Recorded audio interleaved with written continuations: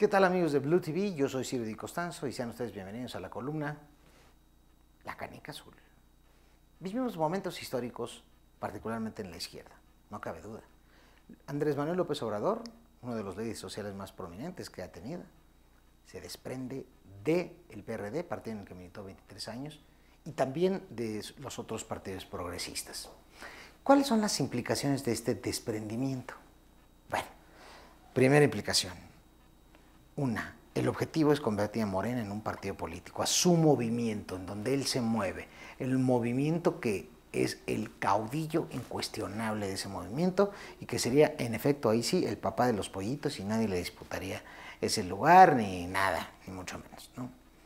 Entonces, ¿qué pasaría si López Obrador tuviese su propio partido político? Primera diferencia, que sería el impacto principal, es que recibiría recursos del Estado porque los partidos políticos son eso y reciben recursos del Estado. Ya no tendría que irlos a recolectar por ahí. El Estado se los proveería. Dos, la izquierda se podría canibalizar. ¿Por qué razón? Porque son cuatro partidos de izquierda, un solo electorado, un solo pastel electoral. Digamos, las personas que votan izquierda, pues tendrían cuatro opciones. Esto quiere decir que se podrían canibalizar. Que todas, entre todas lo crecieran, pero se quedaran con una parte pequeña, porque es entre cuatro, ¿no?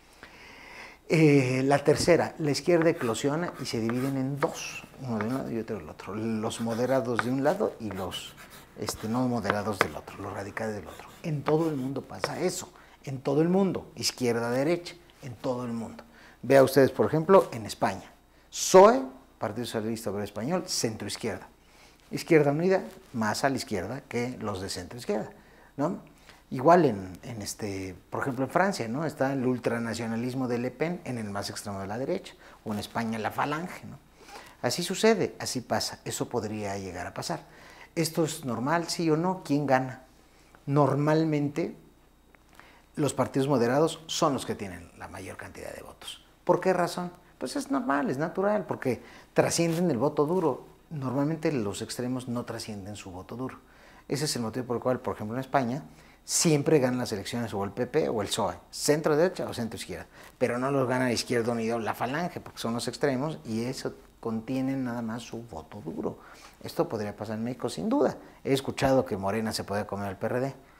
No lo creo. Yo creo que más bien el PRD construirá y trascenderá a otras audiencias, trascenderá a su voto duro, ¿no? Y en el caso de Morena, es más difícil porque es, es, donde se concentra el voto duro más duro, vamos a decirlo así. Eh, esto lo puede usted ver en cualquier país, en cualquier democracia. Ahora, puedes, pueden ir ellos a enfrentar una elección en un frente. Está bien, la duda está ahí, el candidato, sobre todo en el 2018. ¿Quién sería el candidato? Ya está la cosa, ¿no? La canica azul. Para Blue TV, Ciro Di Costanzo.